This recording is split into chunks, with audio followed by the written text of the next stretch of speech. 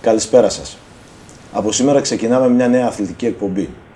Στόχος της αθλητικής εκπομπής με τίτλο «Αθλητικές περιπλανήσεις» είναι να ανεβάσουμε το επίπεδο της ενημέρωσης των ανθρώπων του Βόρειου Εύρου. Ο Βόρειος Εύρος έχει πάρα μα πάρα πολλούς σημαντικούς ανθρώπους. Έχει σημαντικούς ανθρώπους σε πάρα πολλά αθλήματα. Όλοι νομίζουν ότι ο Βόρειος Εύρος είναι ποδόσφαιρο και βόλεϊ. Βόρειος Εύρος όμως δεν είναι μόνο ποδόσφαιρο και βόλεϊ. Υπάρχουν πάρα μα πάρα πολλά αθλήματα τα οποία καθ' όλη τη διάρκεια των ετών θα μπορέσουμε να τα αναδείξουμε και να μπορέσουμε να εκθιάσουμε κάποιους ανθρώπους οι οποίοι έχουν δώσει χρόνο, χρήμα, ψυχή, αίμα, δάκρυα, υδρότα για αυτή την περιοχή. Για αυτή την ακριτική περιοχή που αξίζει τον κόπο να ζεις, αλλά αξίζει τον κόπο και να προσφέρεις. Σε αυτήν λοιπόν την αθλητική εκπομπή θα περάσουν διάφοροι παράγοντες, αθλητές, προπονητές, οι οποίοι βοήθησαν την περιοχή μας να έχει ένα υψηλό επίπεδο και βοήθησαν την περιοχή μας να αναδειχθεί σε όλα τα μήκη και πλάτη της πατρίδος μας. Οφείλουμε να πούμε ένα μεγάλο ευχαριστώ. Ένα μεγάλο ευχαριστώ σε αυτούς τους ανθρώπους που σε αυτές τις δύσκολες εποχές κράτησαν, κρατούσαν και θα κρατάνε την περιοχή αυτή σε ένα υψηλό αθλητικό επίπεδο. Αθλητισμός σημαίνει πολιτισμός. Τίποτα δεν είναι τυχαίο σε όλο αυτό το μεγαλούργημα του αθλητισμού που δημιουργήθηκε με πολύ μεγάλο κόπο. Τα χιλιόμετρα της απόστασης από το κέντρο και από τη Θεσσαλονίκη είναι πολλά. Όμως πολλοί άνθρωποι δεν έτσι φίδονται προσπάθειας σκόπων και χρημάτων και κρατάνε την περιοχή μας σε ένα υψηλότατο επίπεδο.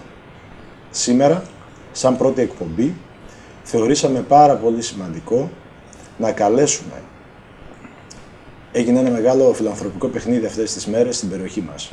Οι φίλοι του Θοδωρή Ζαγοράκη με τους παλεμάχους του Ορέστη κάνανε μέσα σε μια γιορτινή ατμόσφαιρα ένα παιχνίδι συγκινητικό. Κάνανε ένα παιχνίδι το οποίο μέσα από την προσπάθεια την ποδοσφαιρική, την αθλητική πρόσφερε πάρα πολλά χρήματα στα τέσσερα ειδικά σχολεία της περιοχής μας. Θεωρήσαμε λοιπόν σαν πρώτη εκπομπή να πούμε ένα μεγάλο ευχαριστώ στους παλεμάχους του Ορέστη και στους φίλους του Θοδωρή Ζαγοράκη που ήρθαν στην περιοχή μας και βάλανε πέντε πράγματα σε μια σειρά μέσω του αθλητισμού που είναι πολιτισμός να προσφέρουν χαρά σε αυτά τα παιδιά. Δίπλα μου έχω τη χαρά και την τιμή να έχω ίσως τη μεγαλύτερη δόξα του ποδοσφαίρου της περιοχής μας, τον κύριο Δημήτρη Λιμπερίδη, έναν άνθρωπο ο οποίος έχει προσφέρει πάρα πολλά στο ποδόσφαιρο της πόλης μας, ένας άνθρωπος ο οποίος έχει πάρα μα πάρα πολλά έτη στην ομάδα του Ορέστη, όχι μόνο σαν ποδοσφαιριστής, αλλά σαν προπονητής και ακόμη περισσότερο και σαν παράγοντας. Ο Δημήτρης αγάπησε τον Ορέστη και πρόσφερε και συνεχίζει να προσφέρει σε όλα τα, σε όλα τα μετερίζια. Είναι ο φυσικός ηγέτης της ομάδος, όχι μόνο ο ηγέτης της ομάδος των Παλεμάχων, αλλά ο ηγέτης όλης της ομάδος. Δίπλα στο Δημήτρη έχουμε τη μεγάλη χαρά και τιμή να έχουμε τον Μιχάλη τον Ιορδανίδη, τον προπονητή των εθνικών ομάδων ποδοσφαίρου, ο οποίος αυτή τη στιγμή έχει δύο τίτλους στην ΕΠΟ.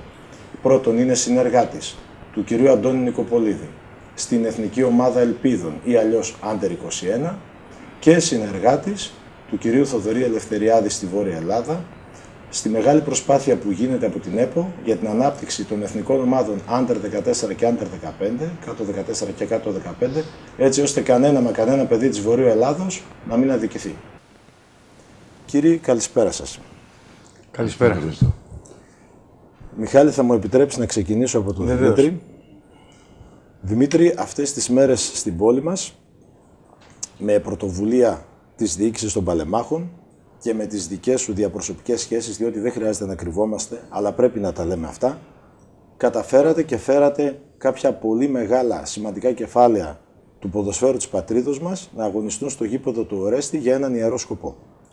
Ε, καταρχήν, Χριστό, θέλω να σου δώσω να σου ευχηθώ καλή επιτυχία για την εκπομπή, να πάνε όλα κατευθείαν και να πάμε μετά σε αυτό το σημαντικό γεγονός που έγινε στην πόλη μας.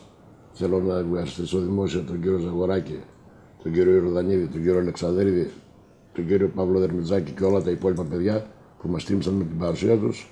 Ήρθαν από τη Θεσσαλονίκη εδώ να κάνουμε αυτόν τον φιλανθρωπικό αγώνα, να βοηθήσουμε τα ειδικά σχολεία και πιστεύω ότι και ο κόσμος είναι ευχαριστημένος και τα παιδιά και η προσπάθειά μας αυτή πιστεύω ότι έπιασε τόπο. Ε, πιστεύω συνέχεια να κάνουμε και ανάλογες τέτοιες κινήσεις για να μπορέσουμε να βοηθήσουμε τις ευπαθείς ομάδες που υπάρχουν στην πόλη μας εδώ και στην περιοχή μας. Ε, με τον κύριο Ιορδανίδη έχουμε συνεπάρξει και συμπαίκτες πριν αρκετά χρόνια στη δόξα μας. Γνωριζόμαστε, μας ενδιαφέρουν πολλά πράγματα, όπως και με τα άλλα τα παιδιά. Και πιστεύω ότι έχουμε μια καλή συνεργασία και μπορούμε να έχουμε ό,τι ζητάνε τα παιδιά, δηλαδή ποτέ δεν μας χαλάνε χατήρια. Ακριβώς. Μιχάλη, από ό,τι μάθαμε, ένα απλό τηλεφώνημα και όλοι μα όλοι αυτοί οι μεγάλοι άνθρωποι του ποδοσφαίρου, όλοι εσείς οι οποίοι τιμήσατε ε, κυρίως στη Βόρεια Ελλάδα, γιατί οι συμμετοχές σου και η προσφορά σου στα γήπεδα της Βορείου Ελλάδος είναι τουλάχιστον συγκινητικές.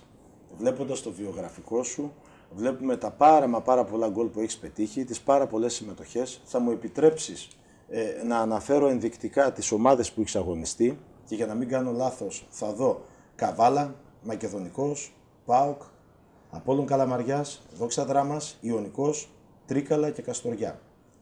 210 συμμετοχές στην Α Εθνική, 150 συμμετοχές στη Β Εθνική. Μιλάμε για τουλάχιστον 124 γκολ, 54 στην Α, 70 στη Β, πρώτο σκόρερ στους Μαυραετούς, στη μεγάλη ομάδα της Δόξα Δράμας που έχει βγάλει απίστευτους ποδοσφαιριστές και πλέον στην ΕΠΟ σχεδόν από το 2002 έως και σήμερα με ενδιάμεσες στάσεις με Εθνική Κύπρου, τον Παναθηναϊκό, κατα, κατακτώντας double συνεργάτης του κ. Νόμπλια. Θα ήθελα να μας πεις πρώτον για το παιχνίδι αυτών των ημερών της 1 Απρίλη που έγινε στο γήπεδο της Οριστιάδος. Καταρχήν και εγώ θα σας ε, χαιρετήσω φίλε Χρήστο, θα σας πω καλή επιτυχία στην εκπομπή την οποία ε, κάνετε. Ε, είναι τιμή για μας και είμαι πολύ χαρούμενος που βρίσκομαι θεωρώ σε μέρη δικά μας, της Βορείου Ελλάδος, τέτοια μέρη όπου σφρίζουν, μπορώ να πω, από ταλέντο, από πηγαίο ταλέντο και εμείς οι άνθρωποι του ποδοσφαίρου μας ενδιαφέρουν τέτοια μέρη. Είμαι ιδιαίτερα χαρούμενος που ξαναβρήκα μετά από χρόνια το φίλο μου τον Δημήτρη, ε, με τον οποίο συνεπήρξαμε, όπως είπε προηγουμένως, ε, συμπαίκτες στην ε, μεγάλη ομάδα της Δόξα Δράμας. Ε, συγκινήθηκα πραγματικά ε, που τον είδα και από κοντά. Ε, ευχαριστούμε πάρα πολύ τους βετεράνους του Ορέστη Ορεστιάδος για αυτή την κλίση την οποία μας κάνανε έτσι ώστε να παρευρεθούμε κι εμείς για αυτόν τον αγώνα τον οποίο κάναμε οι φίλοι του Ζαγοράκη με αυτούς τους παίκτες τους οποίους ήρθαν και οι οποίοι πραγματικά έχουν αφήσει το δικό τους στίγμα στο ελληνικό ποδόσφαιρο. Ήταν τιμή για μας και έπρεπε να έρθουμε όπως και ήρθαμε για αυτό το σημαντικό αγώνα για την ενίσχυση αυτών των ιδρυμάτων των οποίων για αυτά τα παιδιά τα οποία πρέπει να είμαστε κοντά τους. Ευχαριστούμε λοιπόν για την πρόσκληση πάρα πολύ και τώρα να περάσουμε λίγο ε, στο ποδόσφαιρο όπως είπαμε. Πραγματικά ε, με αυτό το πλούσιο βιογραφικό που είπατε προηγουμένως, σε ευχαριστώ πάρα πολύ. Ε, είμαι ένας άνθρωπος του ποδοσφαίρου, είμαι στην ΕΠΟ, στην Ελληνική Ποδοσφαιρική Ομοσπονδία. Ε, με τον κύριο Νικοπολίδη γίνεται μια προσπάθεια έτσι ώστε να περάσουμε στην τελική φάση του Euro του 2019 που θα γίνει στην Ιταλία. Ε, πριν από 10 μέρες περίπου είχαμε δύο παιχνίδια με το Σαν Μαρίνο και την Τσεχία κοντά μας εδώ στην Ξάνθη όπου κερδίσαμε με 4-0 και 3-0 αντίστοιχα. Είμαστε πρώτοι στο βαθμολογικό πίνακα. Υπάρχει πλούσιο ποδοσφαιρικό ταλέντο το οποίο φυσικά στην Εθνική Ελπίδα το παίρνουμε από τις μεγάλες ομάδες από τη Super League. Και ευελπιστούμε ότι ε, το Σεπτέμβριο και τον Οκτώβριο που είναι τα τρία εναπομείνατα παιχνίδια με ε, Τσεχία, Κροατία και Λευκορωσία να έχουμε την ανάλογη συγκομιδή βαθμών έτσι ώστε να τερματίσουμε πρώτοι και να πάμε στην τελική φάση που θα γίνει όπως είπα προηγουμένως το 2019 στην ε, Ιταλία. Ε, Πρέπει να πούμε και κάποια πράγματα όσον αφορά τον αναπτυξιακό σχεδιασμό, τον οποίο με την έλευση του κ. Θόδωρου Ελευθεριάδη ε, στην Ελληνική Ποδοσφαιρική Ομοσπονδία πριν από δύο-τρεις μήνες, ε, ξεκινάει ο αναπτυξιακός σχεδιασμός όσον αφορά ε, από, από κάτω, δηλαδή από μικρές ηλικίες ε, του ποδοσφαίρου και μιλάω συγκεκριμένα για τις μεικτέ ενώσεις, οι οποίες τα τελευταία δύο-τρία χρόνια βλέπουμε ότι ε, υπάρχει, υπάρχουν κάποια κενά όσον αφορά παλαιότερα που γινόταν τα περιφερειακά πρωταθλήματα, τα αναπτυξιακά των ζωνών τα πρωταθλήματα. Ε, κάναμε δύο προεπιλογές επάνω στη Βόρεια Ελλάδα και συγκεκριμένα στα γήπεδα της Μίκρας ε, στην ε, γεννηθέντες 2003 και 2004. Συγκεκριμένα είχαμε και αρκετά παιδιά και από την Αλεξανδρούπολη, είχαμε και από την Κομωτινή, είχαμε και από την Ξάνθη, την Καβάλα, από τις Σέρες, Δράμα, δηλαδή από όλο τον ευρύτερο χώρο όσον αφορά τις μικρές ηλικίες, όπου από εκεί θέλουμε να δείξουμε ότι υπάρχει το ενδιαφέρον από την Ελληνική Ποδοσφαιρική Ομοσπονδία. Και με αυτή την έννοια να καταλάβει και ο παράγοντας του εραστεχνικού σωματείου, ο οποίος ματώνει πραγματικά από το χρόνο του, έτσι ώστε και οικονομικά και από τον χρόνο του για να τρέξει στα γήπεδα, να τρέξει να είναι κοντά στο παιδάκι, ότι και εμείς η ελληνική ποδοσφαιρική μας παιδιά είμαστε κοντά τους.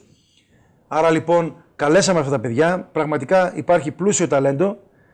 Σαφώς κάποιες ομάδες όσον αφορά τα αναπτυξιακά πρωταθλήματα που γίνονται εδώ στην Αλεξανδρούπολη, στην Ξάνθη, στην Κομωτινή, σε Έρες Δράμα. Ε, υπάρχουν, μην ξεχνάμε, και τα επαγγελματικά πρωταθλήματα που είναι το K15, K17 και K20 που συμμετέχουν οι επαγγελματικές ομάδες. Ο στόχος λοιπόν αυτών των παιδιών είναι κάποια στιγμή να επανδρώσουν αυτές τις ομάδες, γιατί κακά τα ψέματα, αυτή τη στιγμή είμαστε στην Ορεστιάδα. Ε, είμαστε σε μια ε, κομμόπολη, μπορώ να πω, ε, η οποία έχει πλούσιο το αθλητικό στοιχείο. Πολύ πλούσιο. Εγώ θυμάμαι και μικρός που ήμουνα στην Καβάλα ότι και το μπάσκετ ήταν αναπτυγμένο και το βόλιο ήταν αναπτυγμένο και το ποδόσφαιρο σε όλους τους τομείς, δηλαδή ήταν πάρα πολύ ανεπτυγμένο όλα τα, ανεπτυγμένα όλα τα αθλήματα. Πρέπει λοιπόν και εμείς να τονίσουμε αυτά τα παιδάκια ότι η Ομοσπονδία σας παρακολουθεί. Και αυτό τους είπαμε, ότι όλα τα παιδάκια στη μία μέρα που ήρθαν και κάνανε εκπαιδευτικό δίτερμα στη Μίκρα, ότι από τη στιγμή που θα γυρίσετε στις ομάδες σας να ξέρετε ότι παρακολουθήστε από τους ενωσιακούς προπονητές, από τους ομοσπονδιακούς προπονητές, με στόχο αύριο μεθαύριο όπως ξεκινήσαμε όλοι, και εγώ και ο Δημήτρης, και εσείς, αν δεν κάνω λάθος, που παίξατε παλαιότερα ποδόσφαιρο έσω και σε τεχνικό κομμάτι, πρέπει αύριο μεθαύριο αυτά τα παιδιά να ενσωματώσουν τις μεγάλες ΠαΕ ή έστω έστω και τη Β' Εθνική ή να πω και τον Ορέστη Ορεστιάδο να το δούμε ξανά στα σαλόνια της Γ' Εθνική, της Β' Εθνική και αυτά τα παιδιά να μπορέσουν να μπουν σε αυτές τις ομάδες έτσι ώστε να είναι πιο εύκολο να τους δει ο Ολυμπιακός, ο Παναθηναϊκός, ο ΠΑΟΚ, η ΑΕΚ, αυτές οι μεγάλες ομάδες, με στόχο φυσικά αυτά τα παιδιά να παίξουν σε μεγάλο υψηλό επαγγελματικό επίπεδο. Και ποιος είναι ο στόχος, να παίξουν κάποια στιγμή στην Εθνική Ανδρών. Αυτός είναι όλη η προεργασία που σας ξεκίνησα, φίλε Χρήστο. Από την ηλικία των 14 λοιπόν που βλέπουμε, αύριο μεθαύριο το παιδί να φτάσει στην Εθνική Ανδρών. Κακά τα ψέματα, οι επιλογές πλέον στην Εθνική Ανδρών είναι λιγοστές. Στην Εθνική Ελπίδα είναι λιγοστές γιατί βλέπουμε ότι ο νόμος Μπόσμαν μας έχει φτάσει αυτή τη στιγμή στο σημείο έτσι ώστε να έρχονται ξένοι παίκτες αμφιβόλου αξίας, να μην ξέρουμε ποιοι είναι, να ενσωματώνουν όλα τα σωματεία της Super League σε έξι μήνες, ένα χρόνο να φεύγουν, να ζητάνε πολλά λεφτά γιατί ένα συμβόλαιο ξέρετε πολύ καλά ότι πρέπει να πληρωθεί από τη στιγμή που θα κατατεθεί στην UEFA. Έτσι. Και αφήνουμε τα Ελληνόπουλα, τα οποία πραγματικά είναι σε πλούσιο ταλέντο, δεν υστερούν σε τίποτα από το εξωτερικό. Απλώς λόγω η κρίση στην κοινωνία, η κρίση στο ελληνικό ποδόσφαιρο, όλα αυτά εδώ μας φτάνουν σε ένα σημείο να τα αφήνουμε λίγο στην άκρη. Όχι λοιπόν, δεν θα τα αφήσουμε στην άκρη. Ξεκινάει μια νέα προσπάθεια από την Ομοσπονδία. Όλα τα παιδάκια τα έχουμε ανάγκη. Ξεκινάμε από την πιο μικρή ηλικία, τον K14 και εύχομαι μέσα σε βάθος χρόνου όλα αυτά τα παιδιά κάποια στιγμή μέσα από την καρδιά μου να ενσωματώσουν την Εθνική Ανδρών. Μιχάλη, να σου κάνω μια ερώτηση. Εμείς εδώ στην Ορεστιάδα, αυτή τη στιγμή είμαστε στο Α τοπικό, γίνεται μια πολύ μεγάλη προσπάθεια από όλους τους φορείς να βγει η ομάδα στη ΓΑΜΑ Εθνική. Είτε βγει είτε δεν βγει, η ομάδα θα συνεχίσει, θα έχει μπόλικα ντόπια παιδιά κτλ. Στην προεπιλογή που ανέφερες, είχαμε τη χαρά και την τιμή να έχουμε και ένα παιδί από την Ορεστιάδα. Γιος παλέμαχο ποδοσφαιριστή, λέγεται Θωμάς Θέμελ, δεν χρειάζεται να κρυβόμαστε, είναι 14 ετών πλέον ο Θωμάς. Ένα παιδί με πλούσιο ποδοσφαιρικό ταλέντο. Ήταν στην προεπιλογή, ήταν στη Μίκρα.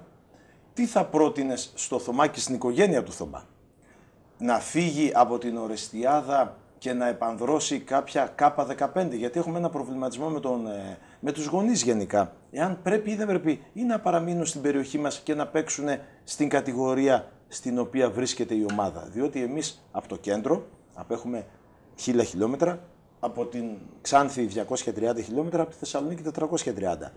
Μπορεί η οικογένεια του Θεμελή σήμερα, του Λιμπερίδη αύριο να φύγει από την περιοχή και να πάει να ζήσει εκεί. Τι προτείνεις στο συγκεκριμένο μαθητή; Παύλα αθλητή. Προσέξτε, παρόλα τα χιλιόμετρα που είπατε κύριε Χρήστο, βλέπετε ότι η Ομοσπονδία ήταν εκεί και τον είδε. Ακριβώς. Από εκεί και πέρα τι γίνεται. Μιλάμε για ένα παιδί 14 ετών. Ακριβώς. Έτσι. Μιλάμε για ένα παιδί το οποίο είναι παιδί. Ναι. Δηλαδή πρέπει να παίξει με, τα... με τους φίλους του, πρέπει να πάει στο σχολείο, πρέπει να πάει το μεσημέρι με τη μητέρα, τον πατέρα του, όλο το κοινωνικό περιβάλλον. Τη στιγμή όμως που αποφασίζει ενεργά αυτό το παιδί και είναι ένα ταλέντο. Ναι γιατί το θυμάμαι και εγώ που το κάναμε προεπιλογή. Πραγματικά ένα πολύ καλό παιδί, άψογος χαρακτήρας. Αποφασίσει λοιπόν η οικογένειά του ότι πρέπει να ασχοληθεί επαγγελματικά. Το επόμενο βήμα, καλός ή κακός, είναι να πάει σε μια ΠαΕ. Γιατί να πάει σε ΠαΕ; Πρώτον, θα είναι σε ένα περιβάλλον ποδοσφαιρικό. Παραδείγματο χάρη επαγγελματικό, όπως είπε ο Δημήτρης, πολύ σωστά. Αν θα πάσουμε στην Ξάνθη, Ναι. έτσι. Θα βγει από το σαλέ που μένουν όλα τα παιδάκια εκεί, θα είναι μπροστά του 8 γήπεδα. Έτσι. Από εκεί πέρα ο στόχος του θα είναι να παίξει ποδόσφαιρο. Θα έχει το σχολείο το οποίο δεν πρέπει να το αφήσει και το πρώτο πράγμα, άμα ρωτήσετε το θέμελι, τι το. Θεμελής. Θεμελής. Θεμελής. Ε, τι τον είπαμε και τι τους είπαμε και ο διευθυντής και ο Θόδωρος Ελευθεριάδης και ο κύριος Ζελενίτσας, τι είπαμε στα παιδάκια, είναι ότι είπαμε ότι πρώτα το σχολείο. Γιατί πρέπει και νοητικά ο ποδοσφαιριστής να είναι σε υψηλό επίπεδο για να παίξει ποδόσφαιρο. Δηλαδή για να δεχθεί αυτά που θα το πει ο προπονητής. Μάλιστα. Άρα λοιπόν, το πρώτο βήμα να πάει σε μια ΠαΕ.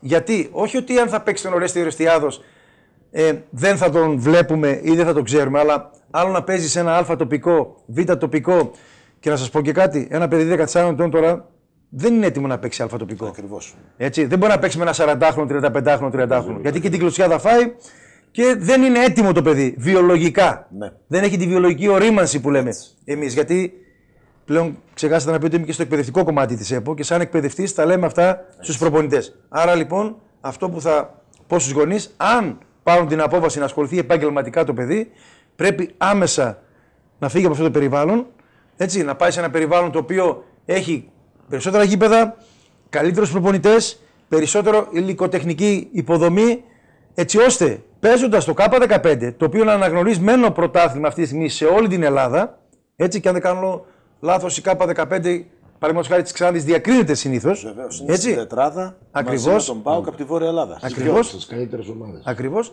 Άρα λοιπόν εκεί θα φανεί μέσα στα επόμενα 2-3 χρόνια αν μπορεί να ενταχθεί και στη μεγάλη ομάδα, δηλαδή πηγαίνοντας στην K17, K20 μεγάλη ομάδα, γιατί μην ξεχνάτε η Ξάνθη και ειδικά ε, τα τελευταία χρόνια βλέπετε ότι έχει πουλήσει πάρα πολλούς νέους Έλληνες ποδοσφαιριστές. Ο Δημήτρης έχει περάσει και από την Ξάνθη και όταν ήρθε στη δόξα δράμα, κάπως έτσι έγινε και η μεταγραφή του. Άρα λοιπόν εκεί θα είναι ένα βηματάκι έτσι ώστε να παίξεις στην Ξάνθη ευχής έργων και από εκεί πέρα να πάει σε μια μεγαλύτερη ομάδα. Άρα λοιπόν σε όλη αυτή τη διαδρομή οι εθνικές ομάδες θα είναι κοντά του, θα τον παρακολουθούν έτσι ώστε αν πραγματικά αξίζει να φορέσει τη φανέλα παραδείγματο χάρη τη Ξάνθης, αμέσως θα βρεθεί στην πρώτη ομάδα και κατόπιν στην εθνική ομάδα. Φυσικά αυτό για να γίνει ε, υπάρχει ένας Γολγοθάς. Έτσι. Γιατί Μιλάμε για ένα παιδί ακόμη έτσι. Ακριβώς μιλάμε για ένα παιδί. Ε, υπάρχουν και άλλα παιδιά. Πολλά παιδιά. Υπάρχει συναγωνισμός, υπάρχει ανταγωνισμός. Υπάρχει αυτό το. Από τους 22 ποδοσφαιριστές θα είναι η πρώτη δεκάδα, θα υπάρχει ο πάγκος. Και όλα αυτά εδώ θα υπάρξουν ανάλογες ζυμώσεις για να δούμε ποια παιδιά θα είναι αυτά τα οποία θα αναδειχθούν. Τέλεια. Δημήτρη, όπως βλέπουμε τα χρόνια έχουν αλλάξει. Εσύ κατάφερες χωρίς σπροξήματα εντός εισαγωγικών, χωρίς βοήθεια, αλλά με την ποδοσφαιρική σου πάλι εντός εισαγωγικών μαγιά, να κάνεις αυτό κάτι το οποίο ήταν πάρα πολύ δύσκολο εκείνα τα χρόνια. Φάνταζε απίθανο, αλλά δύο ομάδες αλφα-εθνικής, η Ξάνθη και η Δόξα Δράμας, σε προτίμησαν ουσιαστικά από ένα ξερό γήπεδο του Ορέστη να πάρουν έναν παίκτη, να τον ρίξουν κατευθείαν στα βαθιά και για πάρα πολλά χρόνια να παίζει αλφα-εθνική. Τι άλλαξε; Ε, καταρχήν θέλω να ευχαριστήσω τον κύριο Παναγιώτη Κερμανίδη, παλέμαχο παίκτη του ΠΑΟΚ, μεγάλη ιστορία στο ελληνικό ποδόσφαιρο, ο οποίος με επέλεξε και με διάλεξε να πάω στην Ξάνθη. Ε, και μετά, Χρήστο, τα χρόνια ήταν δύσκολα. Εντάξει, ξεχώρισα εκείνη τη στιγμή, ήμουν μικρός, πήγα, προσπάθησα, δούλεψα ε, και έκανα, ας πούμε, είχα τη χαρά και την τιμή να γνωρίσω ανθρώπους όπως είναι ο Μιχάλης, που είναι ε, γνώστης του αντικειμένου, ασχολείται με τις εθνικές ομάδες, έχει παίξει πολλά χρόνια ποδόσφαιρο, ήταν ένας από τους μεγαλύτερους γκολτζής. Γνώρισα ανθρώπους, έχω κάνει πάρα πολλούς φίλους Έτσι. και είμαι ευχαριστημένος για αυτό που έχω κάνει. Και συμβουλεύω και στα παιδιά τα μικρά, αυτά που έχουν όρεξη δηλαδή και αν προσπαθήσουν πιστεύω ότι θα ανταμυφθούν κάποια στιγμή οι κόποι τους. Ε, δηλαδή δεν ήταν μόνο οι υλικές αμοιβές, Όχι, αλλά βέβαια. οι ηθικές. Εγώ με σένα ως συνεργάτης και ως φίλος έχω δει ότι όπου πηγαίναμε στη Βόρεια Ελλάδα, γιατί είχαμε κάποια στιγμή μαζί και την ομάδα του Ορέστη, Αυτό ακριβώς. σε γνωρίζανε όλοι.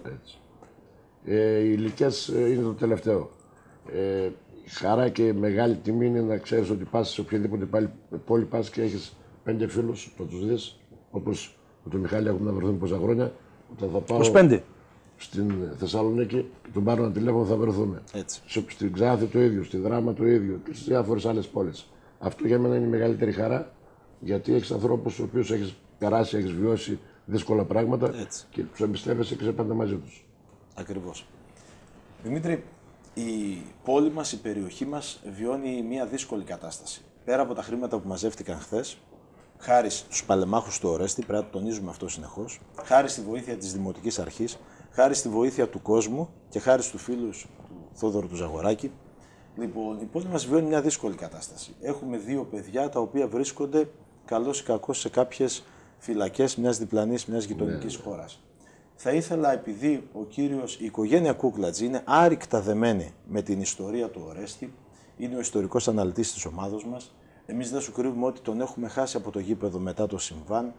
Ε, γιατί όπου και αν παίζαμε ήταν εκεί. Είτε παίζαμε σε κάποιο μακρινό χωριό όπως είναι η Νύψα, είτε παίζαμε εντός έδρας. Πάντοτε ο Νίκος και ο Δημήτρης ήταν εκεί. Θα ήθελα να μας πεις δύο λόγια για αυτό το συμβάν, διότι χθες, σαν παλέμαχοι, σηκώσατε και ένα πανό το οποίο αναφέρθηκε σε αυτό το γεγονός. Ε, καταρχήν, ε, έκανα μια παράληψη. Θα ήθελα να ευχαριστήσω και τον Δήμαρχο που μας βοήθησε σε πολλά πράγματα. Λοιπόν, και μετά θα πάμε στο κομμάτι των δύο παιδιών αυτών. Ε, δεν θα κρύψω το γεγονός ότι κάναμε στον κύριο Νίκο την επίσκεψη με τον κύριο Ζαγοράκη. Ε, το ευχηθήκαμε να πέρασουν όλα γρήγορα. Είναι ένα κομμάτι πάρα πολύ δύσκολο να βιώνεις ένα τέτοιο πράγμα. Να είσαι κάθε μέρα μες στο άγχος του τι θα γίνει. Και άλλωστε μιλάμε για το παιδί σου. Έτσι. Είναι δηλαδή, πιστεύω ότι έχω την πεποίθηση ότι θα, θα τελειώσει γρήγορα το θέμα αυτό. Με, με τις ευχές όλων μας να γυρίσει το παιδί στο σπίτι του, να ξαλαφρώσει αυτή η οικογένεια.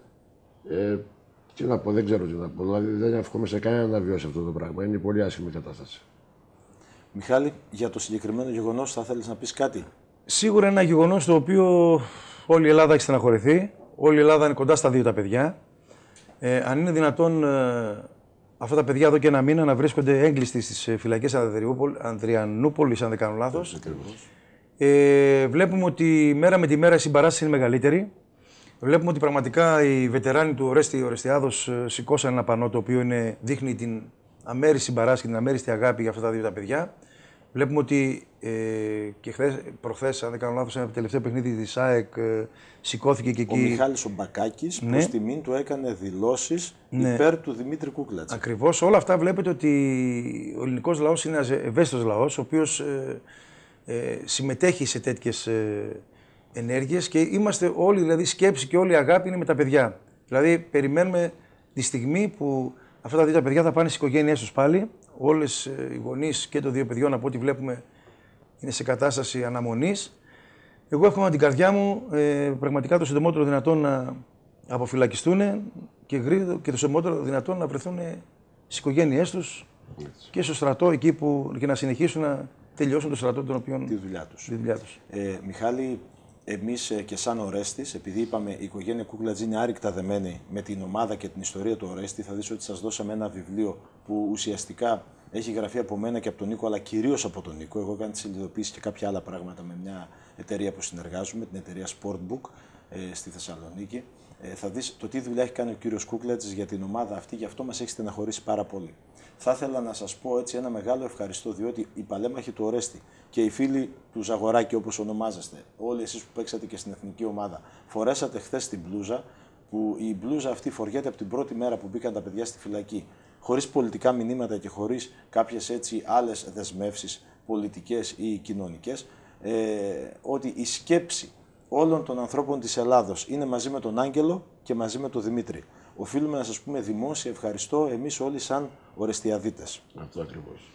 Σίγουρα και εμείς ευχαριστούμε. Ξέρετε, ο κύριος Ζαγοράκης είναι ένας άνθρωπος ο οποίος δείχνει ιδιαίτερη ευαισθησία σε τέτοια κομμάτια. Ε, εκτός δηλαδή από το ποδόσφαιρο το οποίο ξέρουμε πολύ καλά ότι ήταν ο αρχηγός της εθνικής ομάδος που έχει παίξει και έχει τιμήσει τα χρώματα της εθνικής ομάδος και πολλών ομάδων ε, δείχνει ιδιαίτερη ευαισθησία σε τέτοια πράγματα και γι' αυτό ε, και εμείς από την πλευρά μας έπρεπε να βοηθήσουμε αυτή την προσπάθεια την οποία γίνεται από τον κύριο Ζαγοράκη. Γι' αυτό είμαστε εδώ, γι' αυτό συμπαραστεκόμαστε στις οικογένειες. Και πραγματικά οι βετεράνοι του Ρέστη Ορεσιάδος ε, με αυτή την κίνηση την οποία κάνανε ε, και πραγματικά αυτός ο κύριος Κούκλατζης, αν δεν κάνω λάθος, είναι ο άνθρωπος ο οποίος είναι κοντά σας, είναι ο άνθρωπος ο οποίος θέλετε να τον ξαναδείτε να είναι κοντά σας και στους αγωνιστικούς χώρους.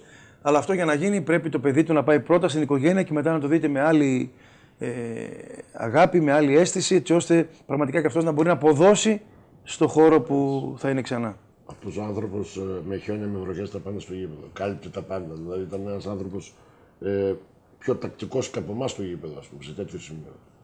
Και αυτή τη στιγμή είναι μακριά. Αυτό ακριβώς. Φτάσαμε σε ένα σημείο τώρα το, ο άνθρωπος να σκέφτεται πότε θα ανοίξει πόρτα και θα πει το παιδί του. Ε, πιστεύω ότι δεν μπορείς να νιώσεις κάτι πιο άσχημο από αυτό το πράγμα. Σίγουρα. Και μετά από αυτές τις συγκινητικές κουβέντες, να περάσουμε στο πρώτο διάλειμμα και να συνεχίσουμε με περισσότερο ποδόσφαιρο με τον Μιχάλη και με τον Δημήτρη. Συνεχίζουμε λοιπόν την εκπομπή μας με δύο εκλεκτούς καλεσμένους, Δημήτρης Λιμπερίδης, Μιχάλης Ιορδανίδης.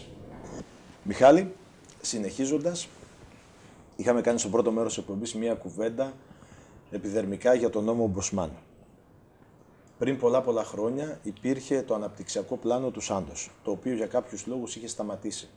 Πρέπει να σας πούμε θερμά συγχαρητήρια που φέτος το ξαναξεκινάτε.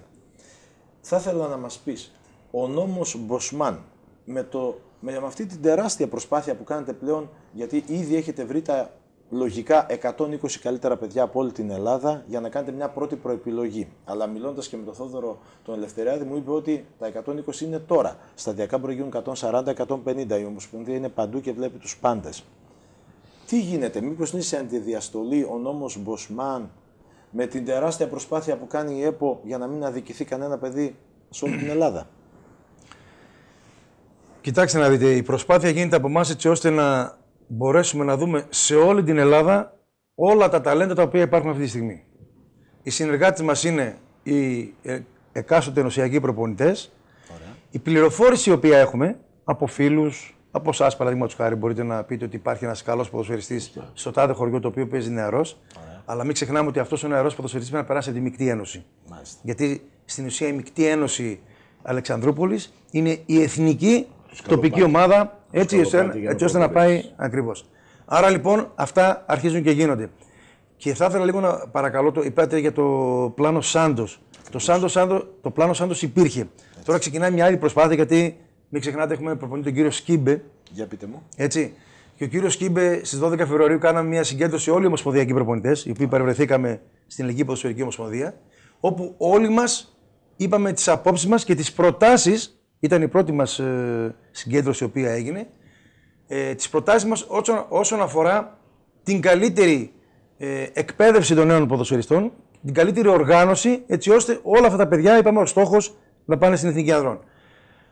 Άρα λοιπόν ξεκινάει αυτή η προσπάθεια. Τώρα, από εκεί και πέρα, είπατε πολύ καλά ότι ο κύριος Ελευθεριάδης κάνει μια προσπάθεια, μαζευτήκαν 140 παιδιά, μπορεί να γίνουν 160.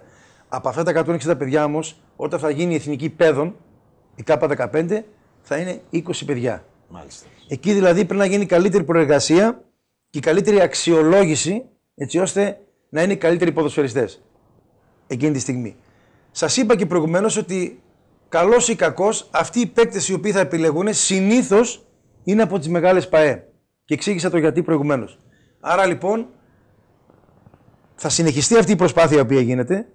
Θα διαλέγουμε τα καλύτερα παιδιά ξεκινώντας από τη βάση των 14 ετών η οποία ξεκίνησε τώρα, με στόχο όλα αυτά τα παιδιά να πάνε σε καλύτερες ομάδες. Αλλά εμείς όμως δεν είμαστε οι ομάδες οι οποίες θα πάρουν τα παιδιά. Δηλαδή, εγώ χάρηκα πολύ όταν μαζέψαμε τους ποδοσφαιριστές στη Μίκρα, ήταν αρκετοί τεχνικοί διευθυντές από, μεγάλη, από μεγάλες ομάδες, αυτό έγινε και στη Θεσσαλονίκη και στην Αθήνα και μάλιστα συνεχίζεται, θα πάνε και στη Λαμία, θα πάνε και σε άλλα μέρη της Ελλάδος για να μαζέψουν όλα αυτά τα ταλέντα. Εμείς πρέπει εκεί που κάνουμε τις προεπιλογές να υπάρχουν τεχνικοί διευθυντές των μεγάλων ομάδων έτσι ώστε να διαλέξουν τα παιδιά. Μάλιστα. Έτσι ώστε δηλαδή, παραδείγματος χάρη, είναι ο κύριο Κεχαγιάς, ο οποίος ήταν στη Μίκρα, ο τεχνικός διευθυντής της Ξάνθης, να δει το θεμελί και να τον πάρει στην Ξάνθη. Εμείς δηλαδή το πρώτο κάλεσμα το κάναμε. Από εκεί πέρα μιλάνε οι ΠαΕ. Μάλιστα. Έτσι ώστε, όπως είπα και προηγουμένως, να κάνουν καλύτερη προπόνηση τα παιδιά με καλύτερους προπονητές γιατί Ξεχάσαμε να πούμε, φίλε Χρήστο, ότι υπάρχει και ένα άλλο πρόβλημα στο ελληνικό ποδόσφαιρο. Η εκπαίδευση των προπονητών. Επειδή την χάνει εγώ αυτή τη στιγμή εδώ και 7-8 μήνες να είμαι στο εκπαιδευτικό συμβούλιο με την έννοια σαν εκπαιδευτής και να διδάσκω στις, ε, στα UEFA. Έχεις κάνει, Μιχάλη, Έχω κάνει 10, και 9 σχολές. 9-10 σχολές. Είχες και προπονητές από την περιοχή μας. Βεβαίως, πρέπει εμείς να δώσουμε τα παιδιά αυτά τα φώτα έτσι ώστε αύριο μεθαύριο, σταματώντας το ποδόσφαιρο και πηγαίνοντας σε ένα άλλο μετερίζει του προπονητή, είναι έτοιμος με τα εφόδια που θα του δώσουμε εμείς να μπορέσει να, να, να οργανώσει μια προπόνηση, να μπορέσει να κουτσάρει μια προπόνηση, να καθοδηγήσει αυτά τα παιδάκια.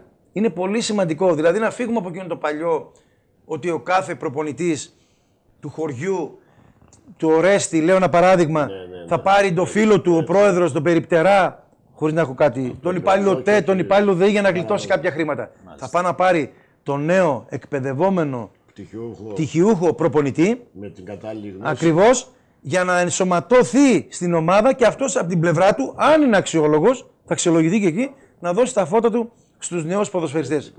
Έτσι, γιατί το νέο αναπτυξιακό πρό- πρόγραμμα το οποίο γίνεται από εδώ και πέρα είναι άρρηκτα δεμένο με την εκπαίδευση των προπονητών. Αυτή τη στιγμή που μιλάμε τρέχουν πάρα πολλές σχολές σε όλη την Ελλάδα όσον αφορά την εκπαίδευση αυτήν, ξεκινώντας από το πιο χαμηλό πτυχίο το οποίο είναι τον, το UEFA C όπου αναφέρεται για τις αναπτυξιακές ηλικίες, έτσι από 6 χρονών έως 17-18 χρονών, έτσι ώστε όλα τα παιδιά και οι προπονητές, γιατί μην ξεχνάτε ότι και εμείς οι προπονητές δεν είμαστε άμυροι ευθυνών.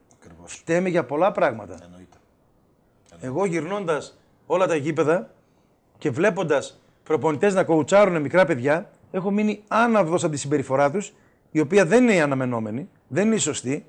Και εκεί υπάρχει και ένα άλλο προγραμματισμός, υπάρχει και ένας άλλος προγραμματισμός από την ΕΠΟ, έτσι ώστε να πηγαίνουμε εμείς οι εκπαιδευτές να βλέπουμε αυτούς τους προπονητές ποιο είναι το έργο το οποίο επιτελούν. Αυτό ακριβώς. Έτσι, όχι σαν μπαμπούλες από πάνω τους, αλλά κάποια στιγμή να μπορούμε να πούμε ότι εσύ τι έβγαλες στο ΕΦΑΣΥ, οφείλεις αυτά που σε δώσαμε να, Μάθαμε ακριβώς που διδάχτηκες να τα κάνεις. να τα κάνεις. Μέσα στον αγωνιστικό χώρο. Εκτός αγωνιστικού χώρου. Γιατί μην ξεχνάτε ότι αν έχω παραδείγματος χάρη το Θεμελή, τον Πιτσερίκο, ο οποίος μπήκε στα αποδητήρια πρώτη φορά και φόρεσε το εθνόσημο, εγώ οφείλω να είμαι πρώτα απ' όλα παιδαγωγός. Έτσι ακριβώς. Να πω το παιδί τι θα κάνει Ο δεύτερος πατέρας στη ζωή του. να κάνει τα σωστά βήματα. Ακριβώς. Το παιδάκι εκείνο δεν είναι φίλος μου εμένα. Δεν είναι αυτός που θα πάω να παίξω. Είναι ένα παιδάκι μικρό 14 ετών. Πρέπει να τον καθοδηγήσω τι θα κάνει. Όπως επίσης πρέπει να τον καθοδηγήσω και ότι αν τυχόν δεν παίξει ποδόσφαιρο, τι πρέπει να κάνει; Να ακολουθήσει το σχολείο του. Μπορεί να γίνει ένας φίλαδρο του Ορέστη Ορεστιάδος. Μπορεί να γίνει ένας σύμβουλος του Ορέστη Ορεστιάδος. Μπορεί να γίνει ο πρόεδρος του Ορέστη Ορεστιάδος. Μπορεί να γίνει δημοσιογράφος. Δηλαδή να είναι κοντά στην ομάδα. Είναι αυτά που λένε και στο εξωτερικό και στην Ολλανδία και στην Ισπανία. Λένε ότι αν δεν παίξει ποδόσφαιρο, πρέπει να είναι αυτό το παιδί κοντά στην ομάδα. Να πλαισιώσει το Ακριβώς. ποδόσφαιρο. Αυτά όμως πρέπει να τα ενημερώσουμε τα παιδιά. Όπως επίσης και ένα άλλο στάδιο, φίλε Χρήστο, φίλε Δημήτρη, είναι να ενημερώσουμε τους γονείς. Κακά τα ψέματα οι γονείς όταν βλέπουν ένα παιδί να το καλούμε σε εθνική ομάδα, αμέσως στο μυαλό του εδώ έρχονται εκατομμύρια ευρώ. Σου λέει το παιδί μου αύριο μεθαύριο θα παίξει στον Ολυμπιακό, θα παίξει τον Πάο, θα παίξει την ΑΕΚ, θα πάρει λεφτά, συμβόλαια. και- Δεν είναι έτσι τα πράγματα. Βέβαια δεν είναι έτσι. Οι Ολλανδοί λένε χίλια, χίλια ταλέντα παίζει ένα. Ένα! Ποιοι οι Ολλανδοί; Με τέτοιες υποδομές, χωρίς να έχουν προβλήματα στην κοινωνία τους, Με τις, και φυσικά ο Άγιαξ έχει τις περισσότερες ακαδημίε. ακριβώς και αν θα παίξει ένα παιδί. Που η φιλοσοφία τους είναι να πηγαίνουν νέα παιδιά να τα βάζουν και να παίζουν. Γιατί εμείς έχουμε και ένα άλλο πρόβλημα τώρα. Δηλαδή, βλέπετε πόσο ξετυλίγουμε το κουβάρι και πώς σιγά σιγά να φτάσουμε κάπου. Εμείς έχουμε ένα άλλο πρόβλημα ότι παίζουν, παίρνουμε ξένους για να τους βάζουμε να παίζουν και αφήνουμε τα δικά μας τα παιδιά. Μα είναι δυνατόν. Δηλαδή, κάποια στιγμή θυμάμαι τον Παναθηναϊκό, ο οποίος κατέβηκε με 18 ξένους ποδοσφαιριστές. Ποιος ο Παναθηναϊκός, με τις καλύτερες υποδομές, με την Παιανία την οποία λέγαμε και η Παιανία η οποία βγήκε με ένα αθλητικό κέντρο φοβερό, με όλες τις ηλικίες των αναπτυξιακών. Φίλε Μιχάλη, αυτή τη στιγμή παίζουμε τον Ολυμπιακό τώρα. Υπάρχει ένα-δύο Έλληνες. Οι υπόλοιποι είναι ξένοι. Γιατί Δημήτρη δεν υπάρχει φιλοσοφία των Ελλήνων παραγόντων να βάλω το παιδί μου, τον Έλληνα, όπως βάλαν το Ρέτσο Ολυμπιακός και πήρε 20-22 εκατομμύρια, έτσι πρέπει να κάνουν όλες οι ομάδες. Αυτό ακριβώς. Όλες οι ομάδες. Οι μεγάλες ομάδες. Μιχάλη, να σε διακόψω. Βλέποντας το τελευταίο παιχνίδι της εθνικής ομάδος, το γκολ που βάλαμε ήταν μια συνεργασία τριών παικτών που αν δεν τραυματιζόντουσαν κάποιοι ξένοι παίκτες, συγκεκριμένα Μπακάκης, Πέλκας, Καρέλης, ο οποίος έκανε και το βήμα στο εξωτερικό, συν Ταχτσίδη, δηλαδή πέρασε η μπάλα από τέσσερις παίκτες. Οι τρεις παίζουν στην Ελλάδα, ο Καρέλης παίζει στο Βέλγιο και πολύ καλά κάνει κατά με και παίζει στο εξωτερικό για πολλούς λόγους. Αλλά αυτοί οι τρεις παίκτες, ποιος, ο Μπακάκης, ο κορυφαίος αμυντικός, κατά με. Ο Ταχτσίδη, ο οποίος αν δεν τραυματιζόντουσαν άλλοι τρεις ξένοι εξάρια που παίζαν στον Ολυμπιακό. Συν ο Πέλκας που αν δεν τραυματιζόταν ένα άλλο δεκάρι που έπαιζε ξένο στον Μπάουκ, θα δεν έπαιζε. θα έπαιζε κανείς ούτε λεπτό. Και αυτοί οι τρεις ήταν συμμετέχοντες στον γκολ, αλλά και των κορυφαίων παικτών στο διπλό που κάναμε εναντίον της Αιγύπτου που πάει στο Μουντιάλ Αίγυπτο. Με Σαλάχ, με Γουάρντα κτλ. κτλ. Η αλήθεια είναι αυτή που είπες Χρήστο. Πραγματικά αυτά τα νέα τα παιδιά και ειδικά στο δεύτερο παιχνίδι με την Αίγυπτο δείξαν πραγματικά ε, και σε σχέση με την προηγούμενη ομάδα ήταν πιο νεαρό σύνολο. Έτσι. Φαινόταν στα μάτια τους ότι είχαν τη θέληση να διακριθούν. Έτσι. Θεωρώ ότι είναι η επόμενη εθνική Ελλάδος, δηλαδή όλα τα παιδιά είναι σε μικρή ηλικία. 25, 26, 27 χρόνια, δηλαδή έχουν τουλάχιστον μια πενταετία, εξαετία μπροστά τους για να συνεχίσουν την εθνική ομάδα. Είδαμε πραγματικά αυτά τα παιδιά να ε, χτυπάνε το καμπανάκι εντός εισαγωγικών του κυρίου Σκύμπου και να λένε ότι και εμείς είμαστε εδώ. Και αυτό είναι το σημαντικό. Δηλαδή, παρόν. είμαστε παρόντες κι εμείς. Δες μας και εμάς. Γι' αυτό είναι η εθνική ομάδα. Γιατί σας είπα, ο κύριο Σκύμπου κάλεσε 30-32 ποδοσφαιριστές. Πρέπει να δείξουν όλοι ότι αξίζουν να φοράνε το εθνόσημο. Έτσι. Και μην ξεχνάμε επίσης ότι σίγουρα τα περισσότερα παιδιά από αυτά παίζουν στο εξωτερικό. Αυτή τη στιγμή παίζουν γύρω σε 150 Έλληνες στο εξωτερικό και σε μεγάλα πρωταθλήματα. Έτσι. Εμείς οφείλουμε όμως να μην ξεχνάμε και το ελληνικό ποδόσφαιρο. Έτσι. Να μην ξεχνάμε ότι και εδώ αναπτύσσονται τα ελληνικά παιδιά με, την, με στόχο να παίξουν στις μεγάλες ομάδες. Είπες πολύ σωστά, Χρήστο, Δημήτρη, ότι στον Ολυμπιακό ένα-δύο παιδιά, στον Πάοκ ένα-δύο παιδιά, στην ΑΕΚ εκεί τρία-τέσσερα λίγο παραπάνω η ΑΕΚ, στον Παναθηναϊκό λόγω συγκυριών τώρα ακόμη περισσότεροι Έλληνες. Πώ θα στελεχώσουν μια εθνική Ελλάδος όταν στις Αλλάζοντα ομάδε. αλλάζοντας, Δημήτρη τη φιλοσοφία. Αυτό ακριβώς. Δηλαδή, εσύ είσαι πρόεδρος μιας μεγάλης ομάδα, ότι κοιτάξτε να δείτε, περάστε και 4-5 παιδιά. Βέβαια. Έλληνες. απαραίτητο. Έτσι ώστε, γιατί και εμείς οι Ομοσπονδιακοί, αύριο μεθαύριο, αν δεν παίζουν οι Έλληνες, πώς θα γίνει η εθνική Ελλάδος, πώς θα γίνει η εθνική ελπίδων; ακριβώς, έτσι. Έτσι δεν είναι; Ακριβώς. Εντάξει, η εθνική νέων, εθνική παιδών είναι ένα άλλο κομμάτι το οποίο ε, είναι λίγο πιο χαμηλά. το σκαλοπάτι. Μπορούμε να επιλέξουμε Είναι το γιατί υπάρχουν σκαλοπάτι. τα ανάλογα Ναι. πρωταθλήματα Ελλήνων. Κάπως έτσι να γίνονται και τα μεγάλα πρωταθλήματα. Πολύ ωραία. Δημήτρη, κεφάλαιο γονείς. Έχεις περάσει παίκτης, προπονητής, συνεργάτης, παράγοντας της ομάδας του Ορέστη. Κεφάλαιο γονείς της μεγάλης και επιτυχημένης ακαδημίας που λέγεται Ορέστης Ορεστιάδος. Ε, Χρήστο, καταρχήν εγώ, ε, επειδή είμαι πολλά χρόνια σε αυτή την ομάδα, την έχω αγαπήσει και ό,τι έχω κάνει το έχω κάνει από αυτή την ομάδα. Λοιπόν, εγώ βασικά θέλω να παρακαλέσω και να προσκαλέσω τον κόσμο να έρθει στο γήπεδο. Αυτή η ομάδα έχει μια ιστορία. Το 71, το 73 έπαιξε β' εθνική. Κάποτε το γήπεδο γέμιζε. Τώρα πάμε στο γήπεδο και έχει 50 και 100 άτομα. Δεν είναι κατάσταση που αρμόζει αυτή για τον Ορέστη. Γίνεται μια προσπάθεια και προσωπικά από σένα, από τη διοίκηση, αξιόλογοι άνθρωποι οι οποίοι θέλουν αυτή την ομάδα να ανεβάσουν. Πρέπει ο Ρέσες να ανέβει, όπως είπε και ο φίλος μου ο Μιχάλης, να παίζει σε μεγάλες κατηγορίες. Έχουμε 200 παιδιά στις ακαδημίες.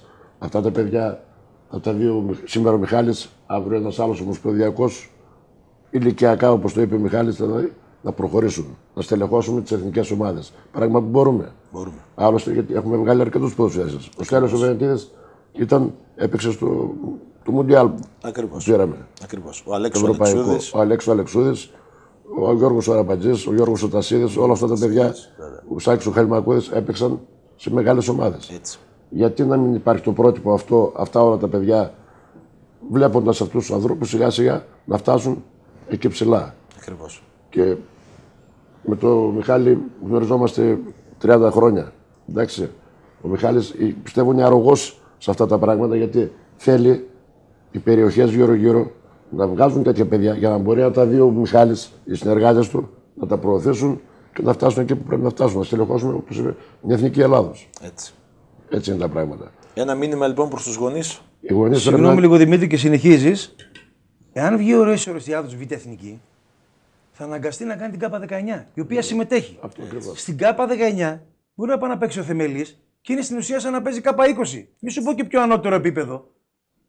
Δεν θα αναγκαστεί το παιδί να πάει αριστερά-δεξιά. Δηλαδή και το να αναδείξει τον Ορέστη Ορεστιάδο και συνεχίζει Δημήτρη, είναι μεγάλο κομμάτι και για τα αναπτυξιακά γύρω-γύρω.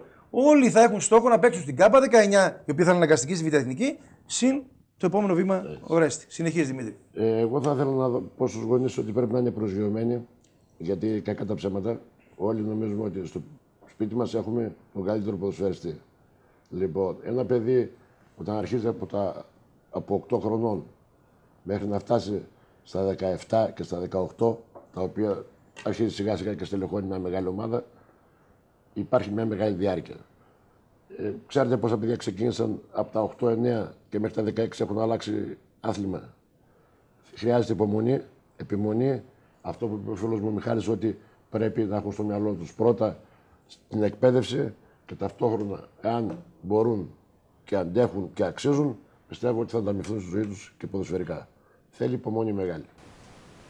Πιστεύεις ότι οι γονείς του Βορείου Εύρου έχουν κατανοήσει τις τεράστιες δυσκολίες που έχει η συγκεκριμένη περιοχή λόγω έλλειψης ομάδων σε μεγάλη κατηγορία, λόγω της χιλιομετρικής απόστασης και πολλών άλλων θεμάτων; Ε, Χρήστο, αυτό ακριβώς είναι το θέμα το δικό μας. Ότι εάν ο Ρέστης έπαιζε γάμμα εθνική, ε, θα ήταν και διαφορετικά τα πράγματα. Μάλιστα. Και γι' αυτό γίνεται η προσπάθεια αυτή φέτος, δηλαδή τα δύο τελευταία χρόνια, που πιστεύω φέτος θα είναι η χρονιά μας, δηλαδή θα βγει η ομάδα. Και ο- τη στιγμή που θα βγούμε γάμμα εθνική και οι γονείς οι ίδιοι θα συνειδητοποιήσουν ότι τα πράγματα αλλάζουν. Μάλιστα. Δεν είναι όπως είναι οι καταστάσεις, ας πούμε, του να παίζει ο Ρέστη τοπικό, που δεν αρμόζει. Ο Ρέστη έχει μια ιστορία μεγάλη. Μάλιστα. Από τις μεγαλύτερες δηλαδή από τις περιοχή, στην περιοχή μας εδώ γύρω-γύρω και δεν πώς πώς την Ξάνθη. Ε, είναι δύσκολη η κατάσταση. Απλά πρέπει όλοι να συγκεντρωθούμε και να βοηθήσουμε αυτό το κομμάτι που λέγεται ο Ρέστης. Γιατί δεν είναι μόνο ο Ρέστης. Είναι και σας λέω και από πίσω και τα 200 παιδιά που υπάρχουν. Έτσι. Εντάξει. Έτσι. Αυτά τα παιδιά πρέπει να έχουν ένα σκαλοπάτι. Αυτά τα παιδιά, αν δεν είναι ψηλό όπως είπε ο Μιχάλης, η ομάδα ο Ρέση, πώς θα τα δει ο Μιχάλης αυτά για να επιλέξει να στελεχώσουμε αυτές τις ομάδες που λέγονται εθνικές. Καταλάβατε. Ε, Είναι δύσκολο, αλλά θέλει υπομονή. Θέλει υπομονή. Και πίστη. Ακριβώς. Μιχάλη, κλείνοντας, θα ήθελα να μας πεις πέντε κουβέντες για τη μεγάλη προσπάθεια που κάνετε με τον Αντώνη Νικοπολίδη, διότι η Under 21 πλέον αποτελείται από εξαιρετικούς ποδοσφαιριστές. Δόξα τω Θεώ αυτά τα παιδιά παίζουν στη Super League και έχετε καταφέρει και τους έχετε κάνει ένα πολύ καλό σύνολο με μια πολύ καλή βαθμολογική συγκομιδή. Έπονται, αν δεν κάνω λάθος, τρία παιχνίδια. Πόσους βαθμούς χρειαζόμαστε, τι πρέπει να κάνουμε για να πάνε τα παιδιά στην τελική φάση; Πραγματικά, Χρήστο, ξεκινήσαμε εδώ και δύο χρόνια με μια προσπάθεια με την ΚΑΠΑ 21, ε, με δύσκολους αντιπάλους στον Όμιλο. Ο Όμιλος μας είναι Τσεχία, Κροατία, Ελλάδα, Λευκορασία, Μολδαβία και Σαν Μαρίνο.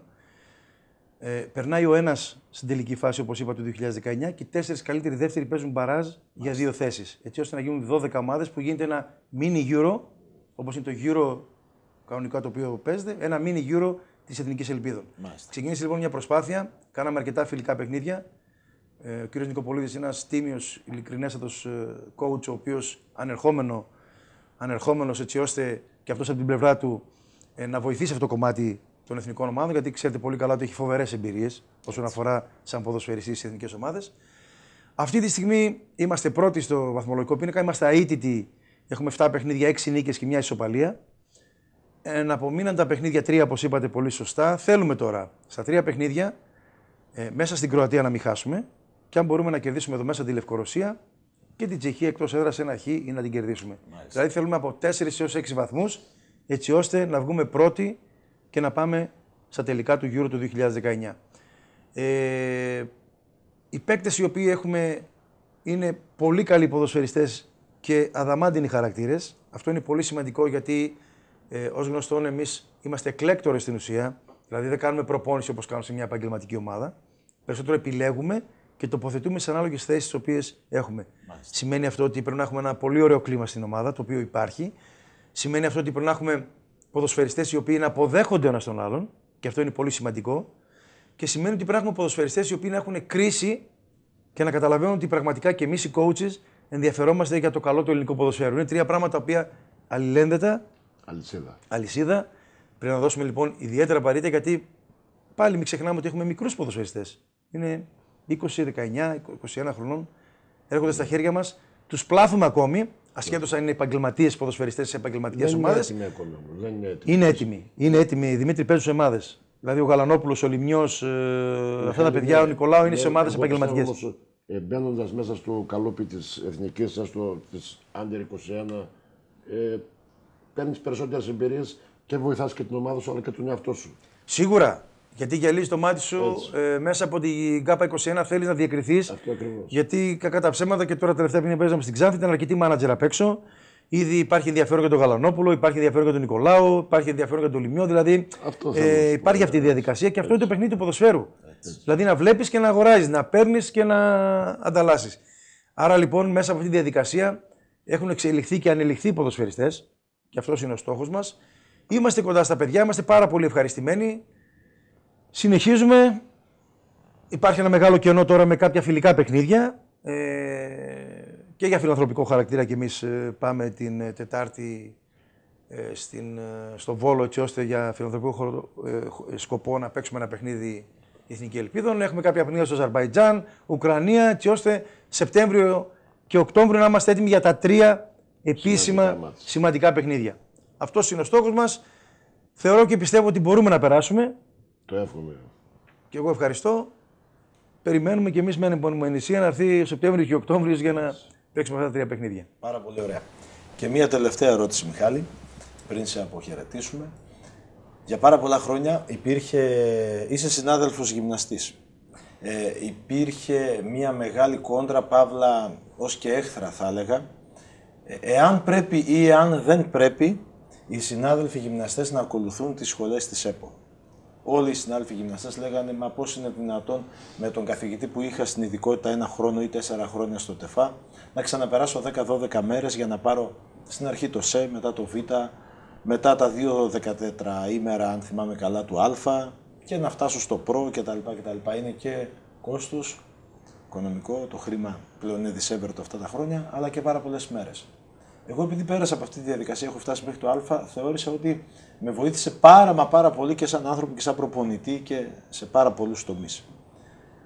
Ποια είναι η γνώμη σου με το χέρι στην καρδιά, γιατί είσαι και γυμναστής και εκπαιδευτής; Καταρχήν να πω ότι αυτή τη στιγμή που μιλάμε, Χρήστο, υπάρχει μια διεργασία μεταξύ των γυμναστών και του νέου Διοικητικού Συμβουλίου του Εκπαιδευτικού να βρεθεί μια τέτοια φόρμουλα, έτσι ώστε και αυτά τα παιδιά τα οποία έχουν τελειώσει γυμναστική ακαδημία και είναι προπονητές όμως και είναι προπονητές σε ενεργεία, να βρεθεί μια τέτοια φόρμουλα να τους βοηθήσει έτσι ώστε να μπορέσουν να ε, αναδείξουν εντός εισαγωγικών το ότι ήταν και αυτοί κάποια στιγμή γυμναστές.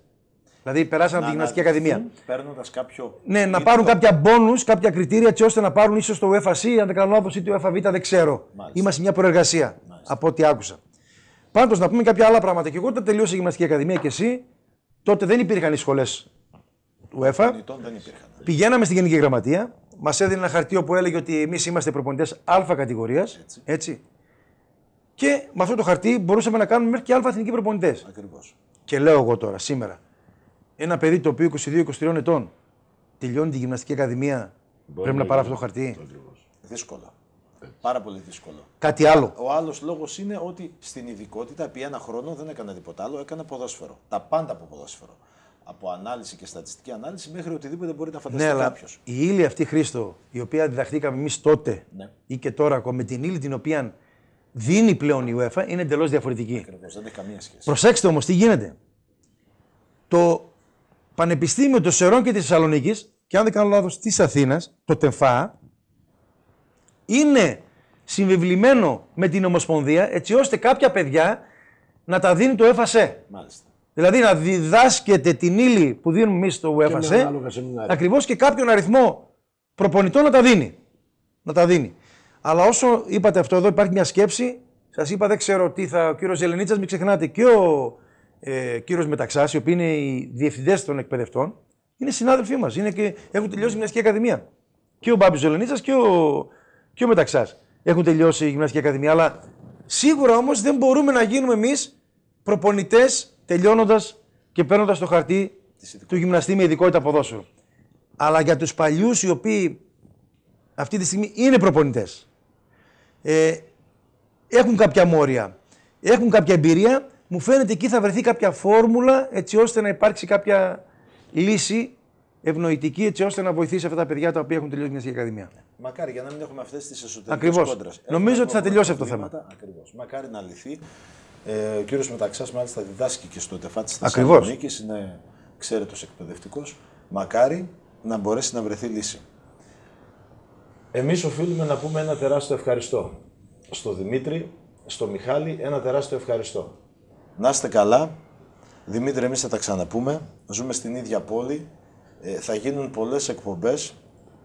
Αξίζει να τιμήσουμε τους ανθρώπους του Βορείου Εύρου σε όλα τα αθλήματα. Είναι η μεγάλη μας αγάπη το ποδόσφαιρο. Οπότε πάλι θα είμαστε κοντά, θα πούμε και παράκληση του χρόνου τέτοια μέρα να ξανακάνουμε άλλη μια εκπομπή φέρνοντας Δημήτρη με τις δικές σου ε, έτσι, σκέψεις, απόψεις και άλλους ανθρώπους του ποδοσφαίρου να κάνουμε και άλλες τέτοιες δράσεις για να μπορέσουμε να βοηθήσουμε κάποια άλλη ευπαθή κοινωνική ομάδα. Αυτό ακριβώς. Χρήστο, και εγώ θέλω να σε ευχαριστήσω πολύ. Ε, πιστεύεις ότι, πιστεύω ότι θα είμαι κοντά σου πάντα.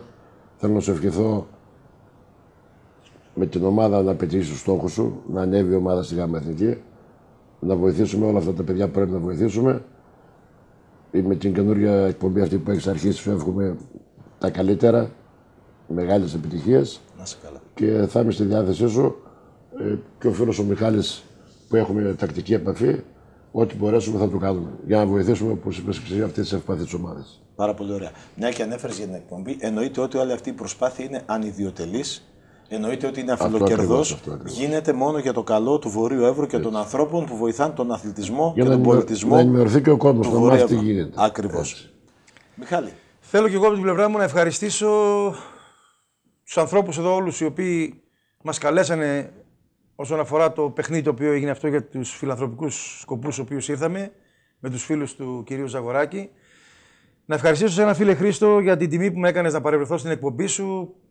Καλές εκπομπές. Να σε ε, πω ότι καλή επιτυχία από την πλευρά μου όσον αφορά το κομμάτι Ορέστη Ορεστιάδο. Θα το δούμε σύντομα στη γάμα εθνική κατηγορία. Ε, ε, μεγαλώσαμε τον Ορέστη Ορεστιάδο. Ε, ειδικά και εγώ από την Καβάλα πάντα σας είπα προηγουμένως ότι είμαστε άρρηκτα δεμένοι με αυτόν τον τόπο. Ε, ευχαριστούμε για την τιμή λοιπόν που μας έκανες να παρευρεθούμε κι εμείς. Ευχαριστώ τον Δημήτρη, τον φίλο μου που και χάρηκα που μετά από τόσα χρόνια βρεθήκαμε. Τα είπαμε έστω και ποδοσφαιρικά και οικογενειακά. Το ποδόσφαιρο είναι ένα άθλημα το οποίο ενώνει, ενώνει, δηλαδή κάνει κύκλο και πάντα θα βρεθούμε, θα βρισκόμαστε. Είμαι στη διάθεσή σας ό,τι χρειαστεί και όπου μπορώ να βοηθήσω εγώ από την πλευρά τη δική μου να βοηθήσω και εγώ όσον αφορά το κομμάτι ποδόσφαιρο, γιατί μόνο αυτό ξέρω να κάνω. Κάτι άλλο με πείτε να κάνω, δεν το ξέρω. Ε, και εύχομαι επιτυχία. Γρήγορα τα παιδιά φτάνουν με τι οικογένειέ τους. Καλή επιτυχία στην εκπομπή σου, καλή επιτυχία στην ομάδα σου. Καλή επιτυχία στο φίλο μου τον Δημήτρη. Χάρηκα πάρα πολύ Πάντα επιτυχίες θα έχει με τις και είμαι στη διάθεσή σας.